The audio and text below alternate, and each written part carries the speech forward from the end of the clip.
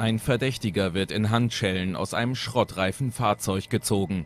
Er wurde festgenommen im Zusammenhang mit einer tödlichen Schießerei am Mittwoch im Berufsverkehr von Seattle. Um 10 nach 4 heute Nachmittag reagierten unsere Einheiten auf eine Lage, die als Scene of Violence bezeichnet wird. Das bedeutet im Allgemeinen etwas sehr Schlimmes. Binnen vier Minuten waren unsere Einheiten am Tatort und begannen die Situation zu bewerten und zu beurteilen.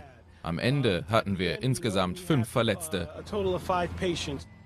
Ein Mann hatte sich laut Polizei einem Fahrzeug an einer Kreuzung genähert und auf den Fahrer geschossen, bevor er das Feuer auf einen Bus eröffnete.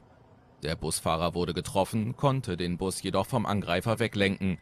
Der Schütze entführte dann einen Toyota Prius, ein Augenzeuge. Der Kerl zieht seine Waffe und läuft einfach los und versucht Autos anzuhalten.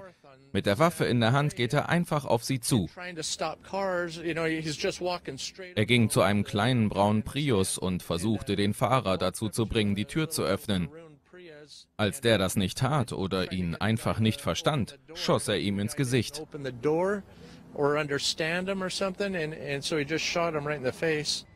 Der Schütze stieg dann in das Auto und versuchte davonzufahren, kollidierte allerdings mit einem weiteren Fahrzeug, dessen Fahrer dabei ums Leben kam.